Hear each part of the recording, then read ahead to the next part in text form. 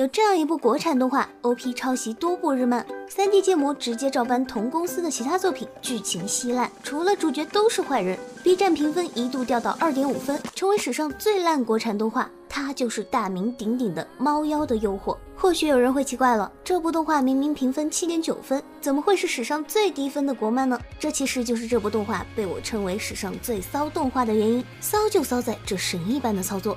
猫妖播出的时候，被网友发现 OP 抄袭《春物语》某科学的超电磁炮，在末日来时做些什么，你的名字等多部知名日漫的 OP。随后评分开始不断下降，制作方若森动画坐不住了，开始利用大范围删评论的方式来控评，几个声讨的热评都神秘消失。之后，若森副总裁杨磊在微博发言称，指责《猫妖的诱惑》抄袭的人是双标狗，是法盲，还要律师函警告。网友看到这样的评论，自然更加气愤。虽然官方在不断的控评，但还是赶不上网友们差评的速度，最后就成就了这么一部二点五分的史上最低分国漫。迫于压力，《猫妖的诱惑》在多家视频平台下架。若森副总裁杨磊也在微博上以个人名义道歉，并宣布注销微博。就这样过去了一段时间，抄袭事件的热度渐渐下来了，《猫妖的诱惑》才重新上架。重新上架后的《猫妖的诱惑》改名《猫妖的诱惑正式版》，评论区也同时出现大量的高分评价，而原来掉到二点五分的版本却成了先行版。也就是说，若森通过改名的方式洗白了猫妖。这波骚操作羞得我头皮发麻。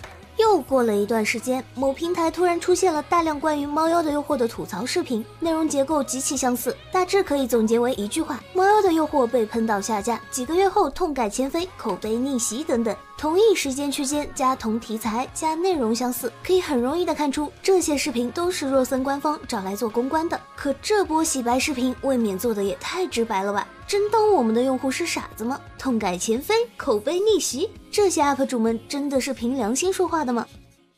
当然，毕竟拿钱吃饭也勉强可以理解。相信看到这里的人，一定会有人觉得我在带节奏。官方已经修改了 OP，你还跳出来喷这喷那干嘛？其实很简单，我要的只是一个真诚的道歉。《猫妖的诱惑》制作方若森动画官方直到现在都没有对此次抄袭事件做出任何道歉，有的只是杨磊对于自己行为的道歉。也就是说，若森至今还没有认识到自己的行为是多么的不道德，说不定他们现在还认为自己是受害者，是被键盘侠们带节奏的一方吧。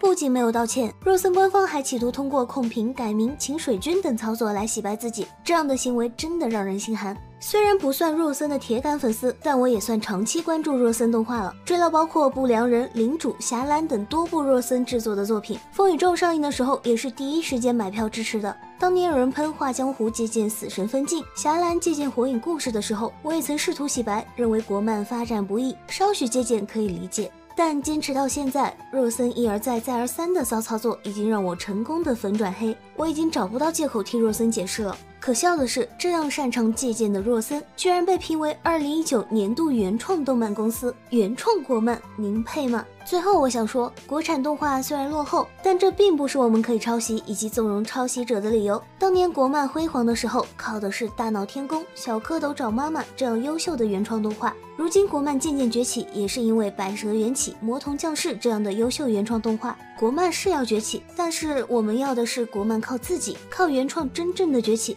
而不是通过抄袭、借鉴以及拿来主义伪装成的假象。我们国产动画要的是。